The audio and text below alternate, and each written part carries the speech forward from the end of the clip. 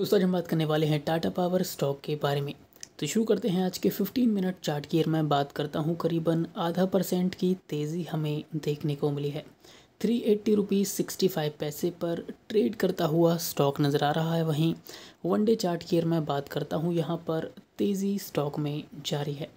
अगर यही तेज़ी कंटिन्यू रहती है तो आने वाले ट्रेडिंग सेशंस में जो टारगेट स्टॉक अचीव करेगा वो है फोर ट्वेंटी तक के टारगेट्स भी टाटा पावर अचीव कर सकता है।